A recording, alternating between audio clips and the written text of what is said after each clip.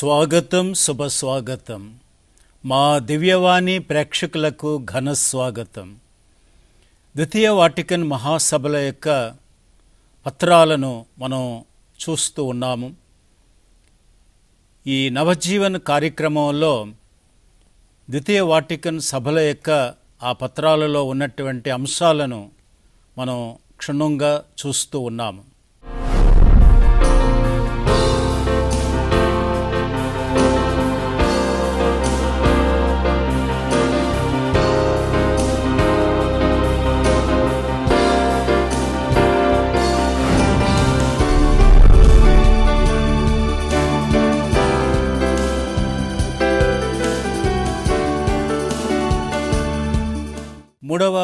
పత్రం అయినటువంటి లోకానికి వెలుగు శ్రీసభ అన్నటువంటి ఆ అంశంలో ఐదవ అధ్యాయము ఆత్మశుద్ధీకరణ ఏ విధంగా కావించుకోవాలి? దానికి ఉన్నటువంటి ఆ పిలుపు గురించి మనం వివరంగా చూస్తున్నాం. మరి ఈ నవజీవన కార్యక్రమానికి ముఖ్య అతిథులైనటువంటి సిస్టర్ తబితా గారు అలానే సిస్టర్ జోస్పిన్ గారు వచ్చి ఉన్నారు. వారికి కూడా స్వాగతం పలుకుతూ ఉన్నాను. మరి వీరి రాక వలన వారు వేసేటటువంటి ప్రశ్నల వలన ఈ యొక్క కార్యక్రమం ఇనుబడించుకొని ఒక అందమైనటువంటి ఈ దివ్య వాణి ద్వారా ఈ కార్యక్రమం మీకు అందుతూ ఉన్నది. అందుచేత మీరు అనేక విషయాలను క్షుణ్ణంగా నేర్చుకుంటూ ఉన్నారు. అందుకు దేవునికి వందనాలు తెలియపరుచుకుంటూ ఉన్నాము. మరి మీరందరూ కూడాను జాగ్రత్తగా కూర్చొని ఆలోచించండి. శ్రీసభలో ఈ ప్రజలు ఏ విధంగా శుద్ధీకరణ అన్నటువంటిది పొందాలి వాళ్ళు పవిత్రులుగా ఏ విధంగా మారాలో అన్నటువంటిది గత ఎపిసోడ్లో మనం చూసాము ఇప్పుడు ఈ నూట ఐదవ ఎపిసోడ్లో మనం దానినే కొనసాగిస్తూ విశ్వాసులు మరింత బలపడి అదే విశ్వాసములో వారు పవిత్రులుగా మారాలి అన్నటువంటి విషయాన్ని ఘనంగా తలైనటువంటి శ్రీసభ బోధిస్తూ ఉన్నది. ఈ ప్రార్థనా జీవితాన్ని గురించి మనం చూసి ఉన్నాము. విశ్వాసుల జీవన రంగాలు వేరైనప్పటికీ కూడాను అంటే ఈ విశ్వాసులు రకరకాలైనటువంటి విధానాల్లో రకరకాలైనటువంటి రంగాల్లో అంటే ఉద్యోగాలు కానీ లేకపోతే వేరే విధమైనటువంటి పనులు కానీ వాటిల్లో వారు వేరువేరుగా ఉంటారు. అయినప్పటికీ కూడాను విశ్వాసం అనేసరికి అందరికీ ఒక్కటే. అలానే ఈ యొక్క విశ్వాసంలో దాని ద్వారా పవిత్రతను పొందడం అనేటువంటిది కూడా ఒక్కటే. అంటే ప్రతి ఒక్క క్రైస్తవ బిడ్డ వారు ఏ పని చేస్తున్నప్పటికీ ఏ ఉద్యోగంలో ఉన్నప్పటికీ ఈ జీవిత రంగంలో వారు ఏ స్థాయిలో ఉన్నప్పటికీ కూడాను ప్రతి ఒక్కరూ కూడాను ఆ పవిత్రత కోసం పిలువబడి ఉన్నారు. అందుచేత ఈ వృత్తి ధర్మాలు వేరైనప్పటికీ కూడాను ఆ పవిత్రాత్మ యొక్క ధర్మం ఒక్కటే. ఆ ధర్మాన్ని ప్రతి ఒక్క క్రైస్తవ బిడ్డ కూడాను పాటిస్తూ ఆత్మ ప్రేరణతో అనుగుణంగా నడుచుకోవాలని తలైన శ్రీసభ తెలియపరుస్తూ ఉన్నది. ఆత్మ ప్రేరేపిస్తూ ఉంటాడు. ఈ ఆత్మ తలైనటువంటి శ్రీసభ ద్వారా ప్రతి ఒక్కరిని కూడాను పవిత్రపరుస్తూ ఉంటారు. ఆ పవిత్రతను అందుకొని ముఖ్యముగా దివ్యబలి పూజలో పాల్గొనడం ప్రార్థన చేసుకోవటం దేవుని యొక్క వాక్యాన్ని ఆలకించడం అలానే ఆ దివ్యబలి పూజలో దివస ప్రసాదాన్ని లోకొనటం ఇదంతా కూడాను మనల్ని పవిత్రపరుస్తూ పరిశుద్ధులుగా మారుస్తూ ఉంటుంది. దీనిని అందుకొని ప్రతి ఒక్క బిడ్డ కూడాను వారు ఏ రంగానికి చెందినప్పటికీ కూడాను పెద్దలైనా పిన్నలైనా వృద్ధులైనా మరి నడి వయస్కులైనప్పటికీ కూడాను వారందరూ కూడాను ఆ దేవుని యొక్క పవిత్రాత్మిక ప్రేరణతో పవిత్రులుగా జీవించాలని దేవుడు ప్రతి ఒక్కరిని కూడాను పిలుస్తూ ఉన్నారు. తండ్రి దేవుని స్వరాన్ని ఆలకించి ఆయన సంకల్పానికి విధయించాలని కూడా తల్లి శ్రీసభ తెలియపరుస్తూ ఉన్నది. అంటే దేవుని యొక్క స్వరం క్రీస్తు ప్రభు చెప్పారు నా గొర్రెలైతే నా స్వరాన్ని వింటారు అని. అంటే గుర్తుపడతాడు అని కూడా అంటారు ఆయన. కనుక ప్రతి ఒక్క క్రైస్తవ బిడ్డ క్రీస్తు ప్రభు యొక్క స్వరాన్ని గుర్తించాల్సి ఉన్నది. ఆ విధంగా దేవుని యొక్క స్వరాన్ని గుర్తించినట్లే. ఎప్పుడైతే దేవుని యొక్క స్వరాన్ని గుర్తిస్తూ ఉంటారో అలానే ఆ దేవుని యొక్క సంకల్పం అంటే ఆయన యొక్క చిత్తాన్ని నెరవేర్చడానికి కూడాను ప్రయత్నించాల్సి ఉన్నది. ఆ విధంగా ప్రయత్నిస్తూ అంటే ఆ ప్రయత్నంలో విధేయత అన్నటువంటిది ఉంటుంది. దేవుని యొక్క చిత్తం ఏంటిది? ఆయనకు ఉద్దేశం ఏంటిది? తెలుసుకున్న తర్వాత ఆ ఉద్దేశ ప్రకారంగా జీవించడం ఇదే విధేయత అని అంటారు. ఆ విధేయత ప్రకారంగా ప్రతి ఒక్క క్రైస్తవ బిడ్డ కూడాను జీవించినట్లయితే తప్పకుండా ఆ పరిశుద్ధత్వాన్ని పొందుతూ ఉంటారు. ఆ విధంగా దేవునికి తగినటువంటి బిడ్డలుగా మారుతూ ఉంటారు. మరి ఈ విషయం గురించి మరింత మరి గ్రంథం తెలియపరుస్తూ ఉన్నది. మొదటి వాక్యాన్ని చదవండి. సిస్టర్ గారు చదువుతారు. జాగ్రత్తగా ఆలకించండి. ఆత్మయందును సత్యమునందును దేవుని మనసారా ఆరాధించేవారు. వినయాత్ముడును సిలువదారి అయిన క్రీస్తు అడుగుజాడలలో నడిచేవారు పవిత్ర జీవనం గడపడంలో ముందంజ వేస్తారు. ఫలితంగా తండ్రి దేవుని మహిమావరణంలో ప్రవేశానికి ఆయన మహిమా ప్రభావంతో భాగస్వాములు కావడానికి యోగ్యులవుతారు. ఆ విధంగా క్రైస్తవ విశ్వాసులు సామర్థ్యంతో జీవన ధర్మాలకు విశ్వాసానికి కట్టుబడి వారు ఆ ముక్తిని అనుభవిస్తూ ఉంటారు పొందుతూ ఉంటారు. అలా మంచి వ్యక్తుల్లా జీవిస్తూ ఉంటారు. అలా ఆశాభావంతో వారు జీవిస్తారు. అంటే వీరు ఎప్పుడైతే ఆ పరిశుద్ధత్వాన్ని పొందుతారో అప్పుడు క్రైస్తవులుగా జీవించాలి క్రీస్తు ప్రభువుకే కట్టుబడి ఉండాలి ఆ దేవుని యొక్క చిత్తాన్ని తప్పకుండా పరిపూర్తిగా నెరవేర్చాలి అన్నటువంటి ఒక ఆశాభావం ఒక ఉత్సాహం అన్నటువంటిది కలుగుతూ ఉంటుందన్నమాట. అందుచేత ఈ సేవా కార్యక్రమాలకు కూడాను వాళ్ళు ఉపక్రమిస్తారు. ఎప్పుడైతే ఆత్మ ప్రేరణ పొందారో ఆ యొక్క పరిశుద్ధత్వాన్ని పొందారో వాళ్ళు అటువంటి క్రైస్తవులు ముందంచి వేస్తారు. ఇతరులకి సహాయం చేయాలనేటువంటి ఒక ఉత్సాహం అన్నటువంటిది ప్రతి ఒక్కరిలో కూడాను కలుగుతూ ఉంటుందన్నమాట. ఫాదర్ పీఠాధిపతుల యొక్క ఆత్మశుద్ధీకరణకు కావలసిన ఉపకరణాలేవి? మంచి ప్రశ్నే. అంటే పీఠాధిపతులు క్రైస్తవులందరికీ కూడా అంటే మేత్రాసనంలో ఉన్నటువంటి గురువులు క్రైస్తవులకి అందరికీ కూడాను ఆయన అధిపతి గనుక ఆయన పరిశుద్ధత్వాన్ని తన జీవితంలో చూపించగలగాలి. అలా చూపించగలిగితే అప్పుడు ఈ గురువులు అలానే క్రైస్తవ బిడ్డలందరూ కూడాను ఆ పరిశుద్ధత్వాన్ని అందుకోవాలి అనేటువంటి ఒక ఆశ కలుగుతూ ఉంటుంది. ఈ ఉపకరణాలు అనేటప్పుడు అంటే అది పీఠాధిపతులు మొట్టమొదట ఆత్మశుద్ధి కలిగి ఉండాలి. అంటే వారి యొక్క ఆలోచనలు తలంపులు ఇవన్నీ కూడాను మంచిగా ఉండాలన్నమాట. అంటే వారు తమ యొక్క జీవితాన్ని ఒక పరిపూర్ణమైనటువంటి గురువుగా నిలబడ్డారు కనుక ఆ మెత్రాసనంలో మరి ఆయనే మొదటి గురువు అన్నమాట. ప్రథమ గురువు. అతని తర్వాతనే తక్కిన గురువులు. కాబట్టి మరి అందరికీ కూడాను ఆదర్శంగా ఉండటానికి ఈ పీఠాధిపతులు మరి ఈ ఆత్మశుద్ధి అన్నటువంటిది కలిగి ఉండాలన్నమాట. అంటే ఒక పాపం లేనటువంటి జీవితం అలానే అందరికీ ఆదర్శప్రాయమైనటువంటి జీవితం అలానే ఆయన చేతి కింద ఆయన అధికారంలో ఉన్నటువంటి గురువులు కానీ మఠకన్యలు కానీ అలానే క్రైస్తవ ప్రజలు కానీ వీళ్ళందరినీ కూడాను క్రీస్తు ప్రభు దగ్గరకు నడిపించాల్సినటువంటి బాధ్యత ఉన్నది. అందుచేత ఇదంతా కూడాను చిత్తశుద్ధితో ఆయన చేయాల్సి ఉన్నది. కనుక ఈ ఆత్మశుద్ధి అన్నటువంటిది పరిపూర్ణంగా ఇది నేను క్రీస్తు ప్రభు తరపున ఇక్కడ నిలబడి ఉన్నాను. వీళ్ళందరినీ కూడా నడిపించవలసి ఉన్నది. కాబట్టి నేను పరిశుద్ధంగా ఉండాలి. ఇలా ఉన్నప్పుడే వీరిని నేను నడిపించగలను అన్నటువంటి ఒక భావన ఆయనలో మొట్టమొదట ఉండాలి. ఇది మొట్టమొదటి ఉపకరణం. రెండవది పవిత్ర జీవనం. అంటే తన యొక్క నడవడిలో కూడాను ఆ యొక్క పరిశుద్ధత్వాన్ని చూపించగలగాలన్నమాట.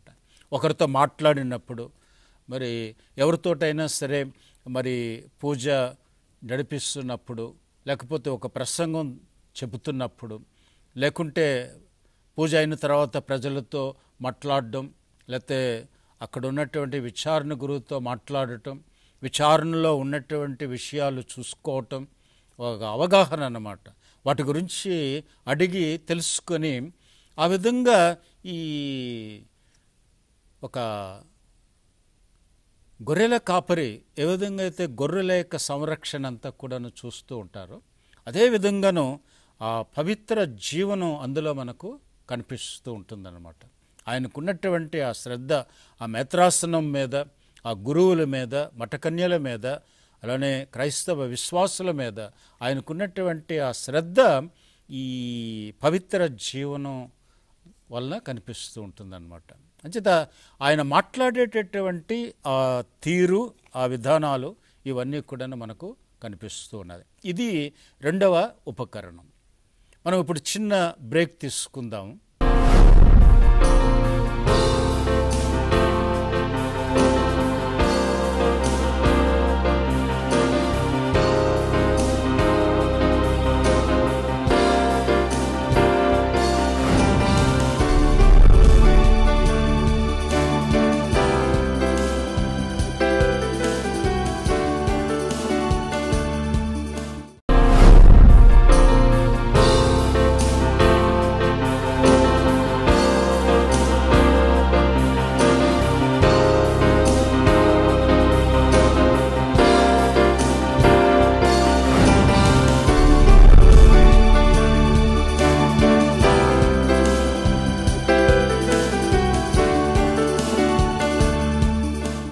బ్రేక్ తర్వాత మరలా మీకు స్వాగతం మీకు కూడా స్వాగతం పలుకుతున్నాం.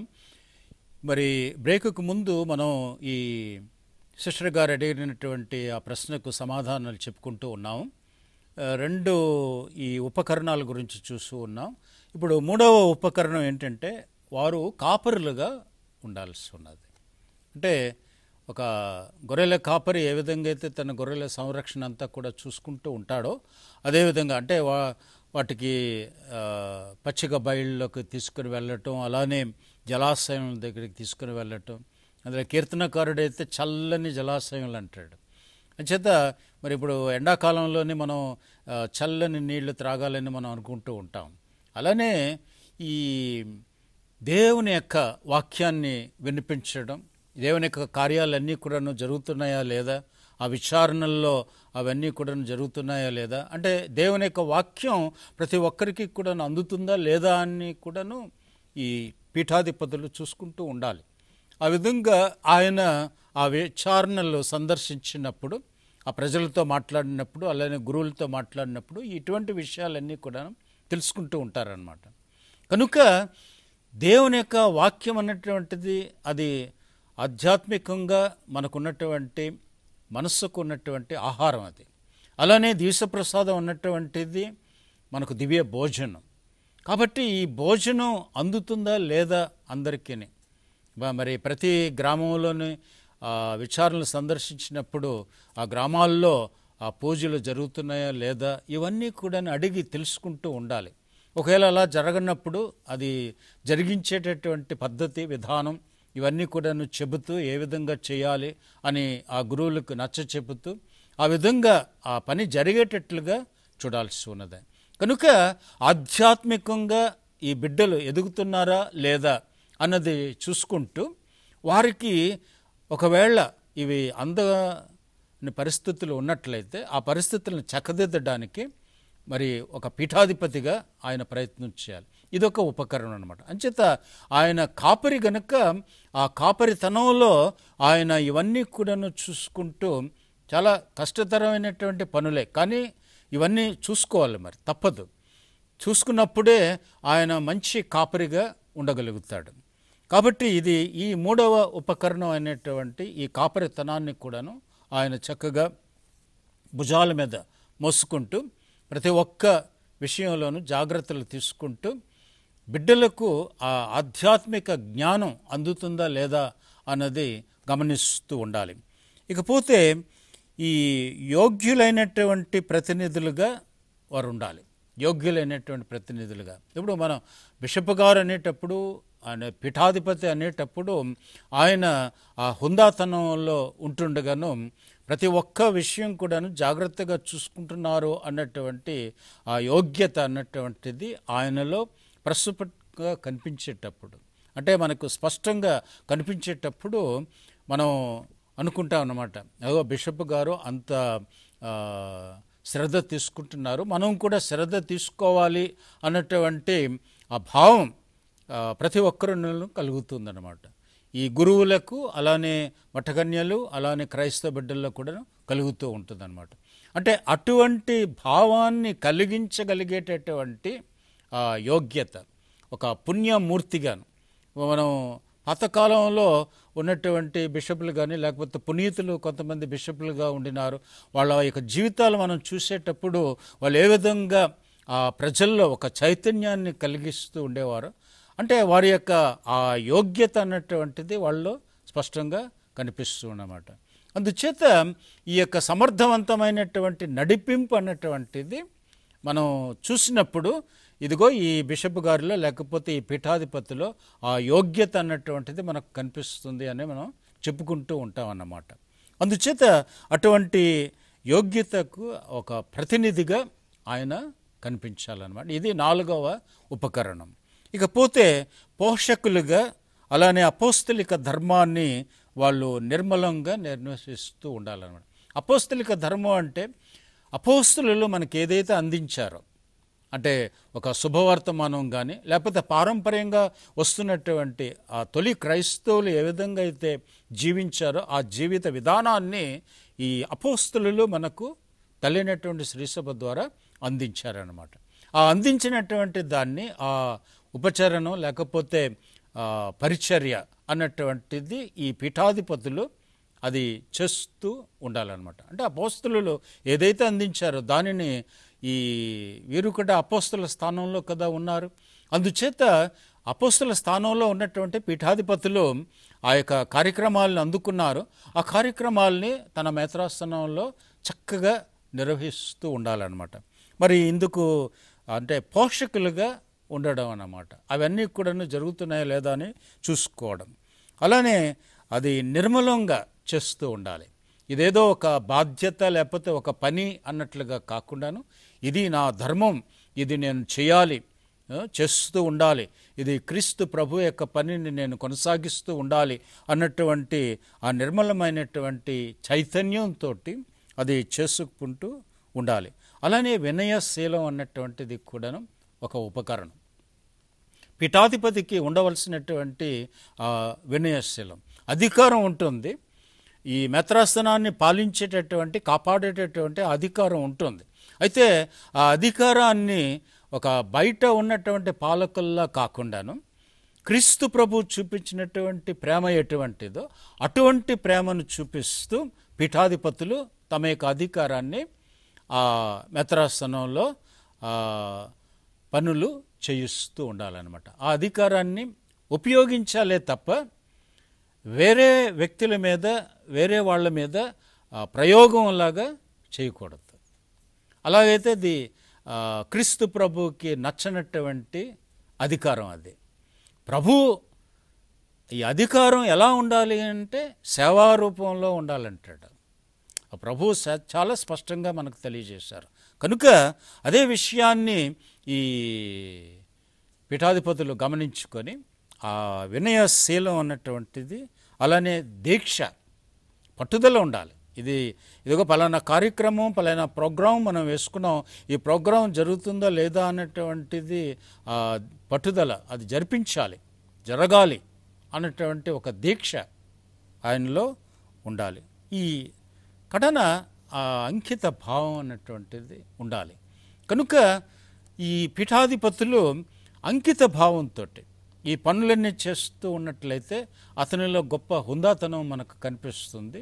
ఆ హుందాతనం ద్వారా గురువులు కానీ మట్టకనీయులు కానీ అలానే సామాన్య క్రైస్తవులు కానీ అవి నేర్చుకొని వాళ్ళు కూడాను ఆ యొక్క హుందాతనంతోనే దేవుని యొక్క బిడ్డలుగా ఈ ప్రపంచంలో సంఘంలో జీవించగలుగుతారన్నమాట. కనుక వీటికంతటికీ కూడాను మూలకారకుడుగా ఈ పీఠాధిపతులు నిలబడి ఉండాలి. వారి ఆత్మ శుద్ధీకరణకు ఈ ఉపకరణాలన్నీ కూడాను ఇప్పుడు మనం చెప్పుకున్నటువంటి ఉపకరణాలన్నీ కూడాను ఉపయోగపడతాయి అన్నమాట సో పరిపూర్ణ యాజకత్వం పండించుకున్న వారు ప్రత్యేక కృపావరాలు పొందుతారన్నమాట. అంటే పీఠాధిపతులు ఎప్పుడైతే ఈ విధంగా ఆ పరిపూర్ణ యాజకత్వం ఎందుకంటే పీఠాధిపతిలో కదా ఈ పరిపూర్ణమైనటువంటి యాజకత్వం ఉన్నది. గురువులందరూ కూడా ఆ యాజకత్వాన్ని పంచుకుంటున్నారు. ఆయన దగ్గర తీసుకొని ఆ పనులు చేస్తూ ఉన్నారు. అందుచేత పీఠాధిపతులు పరిపూర్ణ యాజకత్వాన్ని కలిగి ఉన్నారు. కాబట్టి వారు అలా కలిగి ఉన్నందువలన పవిత్రాత్మ వాళ్ళకి ప్రత్యేకమైనటువంటి అనుగ్రహాలని ఇస్తూ ఉంటారనమాట వాటిని మనం కృపావరాలని మనం అంటూ ఉన్నాం అన్నమాట వారు మార్గదర్శులుగా ఉండాలని కూడాను తెలియపరుస్తూ ఉన్నారు. ఇది మనం పేత్రుడు రాసినటువంటి లేఖ మొదటి లేఖ ఐదవ అధ్యాయము మూడవ వాక్యంలో మనం గమనించవచ్చున్నాం సిస్టర్ గారు చదవండి మీరు దయచేసి వినండి. మీ ఆధీనమునందు వారిపై అధికారము చలాయింపక మీరు మందకు మాదిరిగా ఉండు ఆ విధంగా పేతురు అధికారం చలాయించవద్దు అని ఆ పెద్దలకి తెలియపరుస్తూ ఉన్నారు. ఈ పెద్దలు ఎవరు ఆది కాలంలోని ఆ పెద్దలు ఈ పీఠాధిపతుల స్థానంలో ఉన్నటువంటి వారు అనమాట అందుచేత అధికారం ఉందని అధికారం చలాయించడానికి కాదు కానీ ఆ అధికారం అన్నటువంటి ద్వారా ఈ సేవా కార్యక్రమం అన్నటువంటిది చేయాలి అని ఆయన తెలియపరుస్తూ ఉన్నారు. ప్రాణాలను పణంగా పెట్టాల్సి ఉన్నది. ఎంతోమంది పునీత పీఠాధిపతులు వాళ్ళు తమ ప్రాణాలని బలిగా సమర్పించారు చెప్పాలంటే.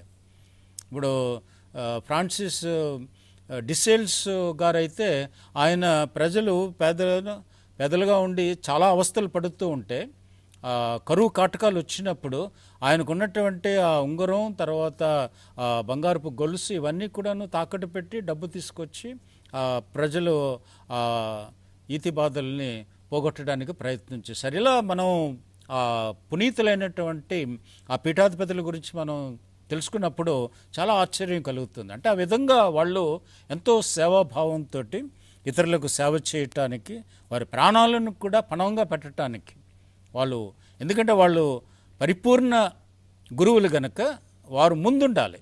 ప్రజల్ని ఒక మంచి కట్టుబాటులో ఉంచి వారిని నడిపించడానికి వారు ఎప్పుడు కూడాను ముందుండాలన్నమాట.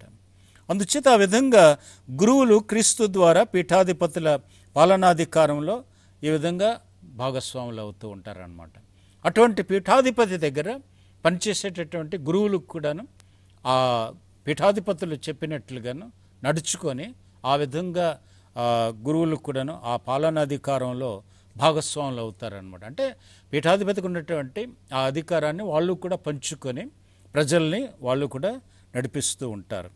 ఈ విధంగా పునీత పదవ పయస్ పాపు గారు అంటున్నారు. అది మనకు పత్రంలో ఇచ్చి ఉన్నారు. సిస్టర్ గారు చదువుతారు. జాగ్రత్తగా ఆలకించండి. తోటి గురువులతో సదా సహార్ద్య సంబంధాలను కలిగి ఉండాలి.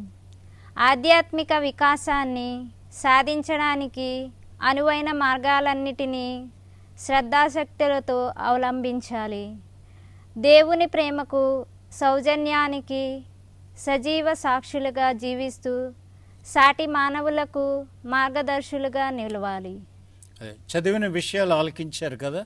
అలానే ఈ క్రైస్తవులైనటువంటి మన అందరం కూడాను ఆ ఉత్సాహంతో ముందుకు వెళ్ళాల్సి ఉన్నది. ఫాదర్ గురువులు వినయశీలుగా ఉండాలంటే వారు ఏం చేయాలి?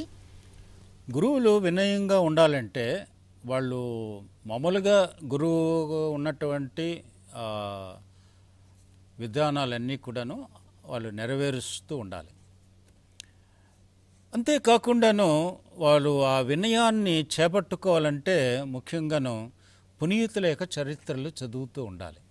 అంటే ఈ పునీతులు ఏ విధంగా ఆ వినయాన్ని చూపించారు?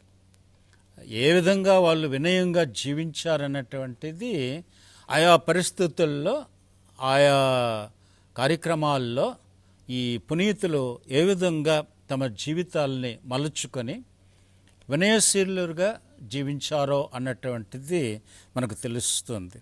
అందుచేత అలనాటి గురుశ్రేష్ఠులు కూడాను వాళ్ళు పునీతులుగా ప్రకటింపబడకపోవచ్చును. ఇప్పుడు మన ఎవరి మేత్రాసనంలో వాళ్ళ గురువులు అంటే పాత వాళ్ళు అన్నమాట మిషనరీస్ అంటారు. వాళ్ళు ఏ విధంగా పనిచేశారు ఏ విధంగా వాళ్ళు ఈ ప్రాంతాల్లో ఆ, సువార్తను బోధించారు వారి యొక్క జీవిత విధానాలు ఏమిటి వారు ఏ విధంగా జీవించారు అన్నటువంటివి వాళ్ళు తెలుసుకుంటూ ఉండాలి.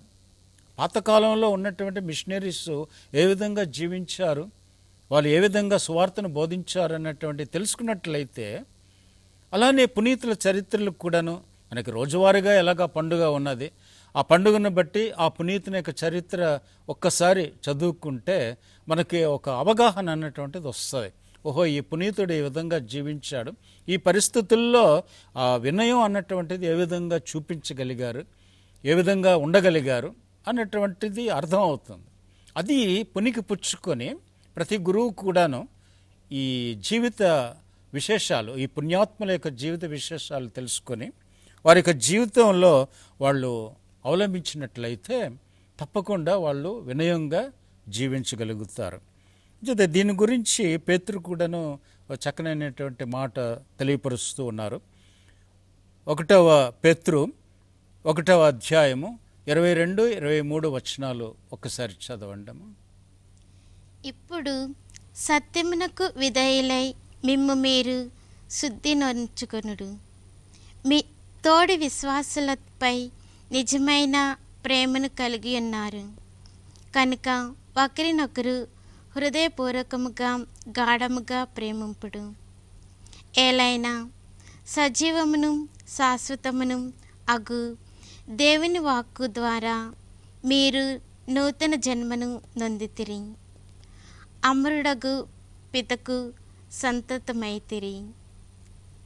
కనుక పేతురు ఆ విధంగా తెలియపరిచి ఉన్నారు. అదే విధంగా మరి పీఠాధిపతులు గురువులు మఠకన్యలు క్రైస్తవులందరూ కూడాను ఆ విధంగా జీవించినట్లయితే భగవంతునికి ఎంతో సంతోషం.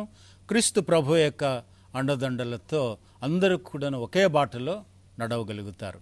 మరి ఇంతవరకు కూడాను మీరు ఈ పీఠాధిపతులు గురువులు ఏ విధంగా అలానే మరి పరిశుద్ధులుగా జీవించాలి క్రైస్తవ బిడ్డలు కూడాను అలా పరిశుద్ధులుగా జీవించాలి మరి మట్టగన్యులు కూడాను ఆ విధంగా పరిశుద్ధులుగా జీవించాలి.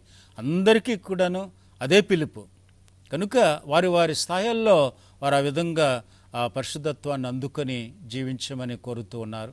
మరి మీరు కూడా ఆ విధంగా జీవించండి.